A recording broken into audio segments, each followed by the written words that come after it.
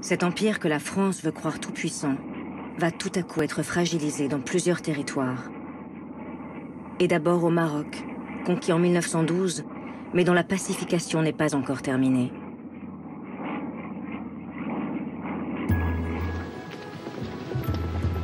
Au lendemain de la guerre, le maréchal Lyotet avait engagé une ambitieuse politique de transformation du royaume chérifien.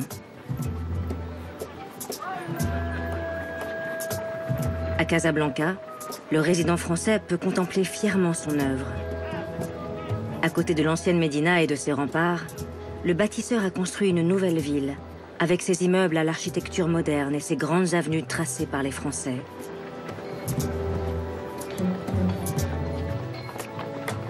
En quelques années, les chantiers se sont multipliés. Tous les architectes en vogue à Paris ont débarqué dans la ville blanche, façonnant un condensé d'architecture qui fera la légende de Casablanca.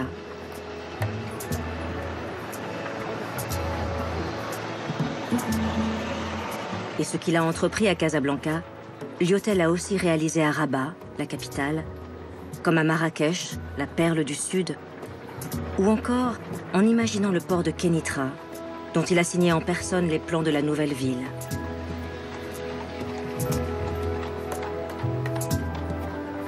Partout dans le pays ont ainsi surgi des bâtiments de l'administration que les voyageurs de passage s'amusent à filmer, tant ils ont l'impression d'avoir été propulsés dans de petites villes de la province française.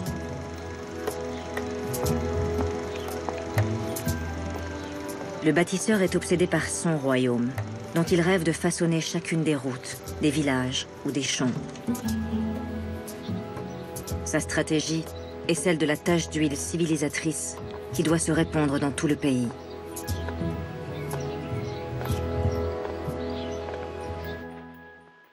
Cette stratégie politique s'appuie notamment sur le sultan Moulay Youssef, qui a pris la suite de ses frères au moment du protectorat.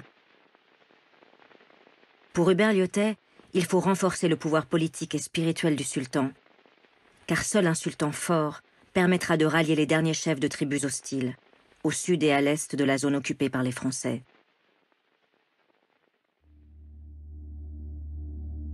Lyotet en est certain. La pacification du royaume sera définitivement acquise très bientôt. Mais le subtil équilibre, patiemment élaboré par le maréchal, va soudainement être mis en péril par une révolte dans les montagnes du Rif.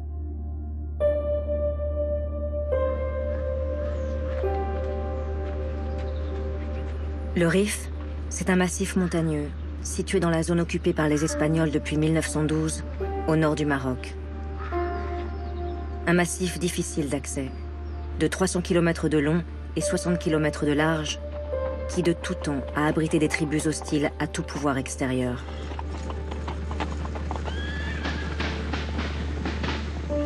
C'est au cœur de ce massif montagneux qu'Abdelkrim el-Khattabi, avec à peine 3000 hommes, met en déroute en 1921 l'armée espagnole, avant de proclamer l'indépendance de la République islamique du Rif.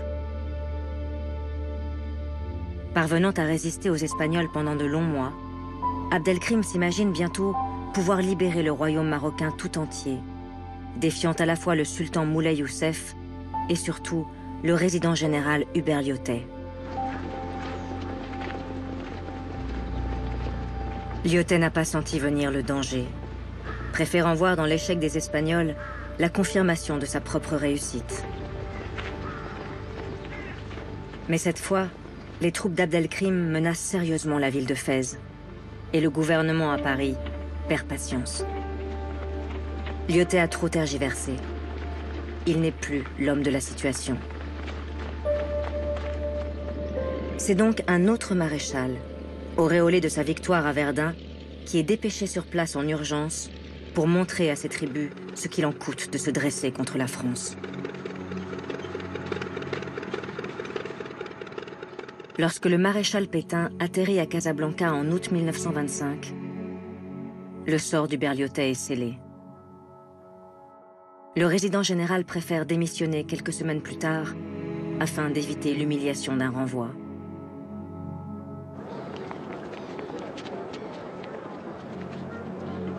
À son départ du royaume, une foule compacte et silencieuse accompagne Berliotet sur le port de Casablanca pour un dernier adieu.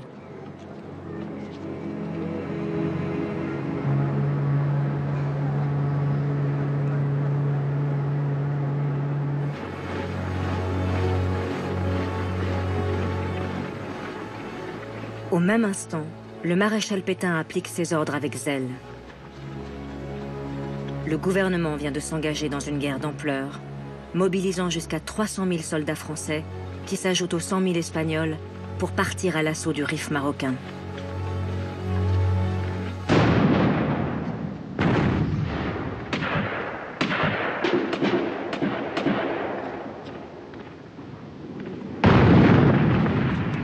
À Paris, une partie de la classe politique ne va pas accepter cette nouvelle guerre coloniale.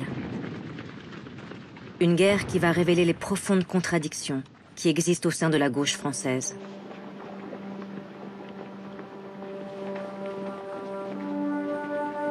Car c'est le même gouvernement du cartel des gauches qui lance les armées françaises au cœur du Maroc et qui a fait entrer lors d'une impressionnante cérémonie les cendres de Jean Jaurès au Panthéon. Jaurès, celui qui dans des discours enflammés était justement le plus violent pourfendeur de la première intervention française au Maroc en 1912. Pour les radicaux qui dirigent le gouvernement avec le soutien des socialistes de la SFIO, cet hommage national à Jaurès, assassiné en 1914, était pourtant le meilleur symbole possible du rassemblement de la gauche.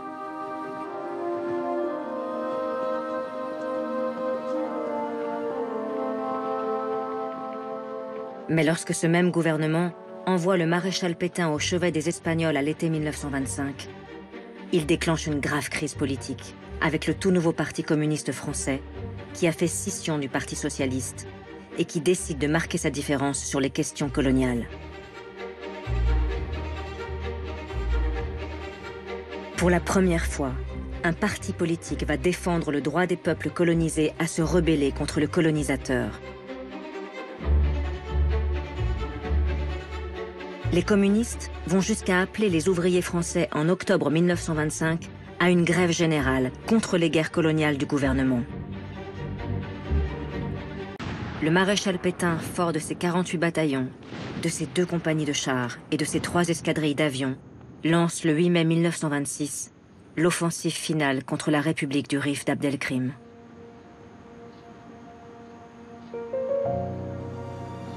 Des villages entiers sont détruits. Des bombes asphyxiantes ont été larguées par l'aviation.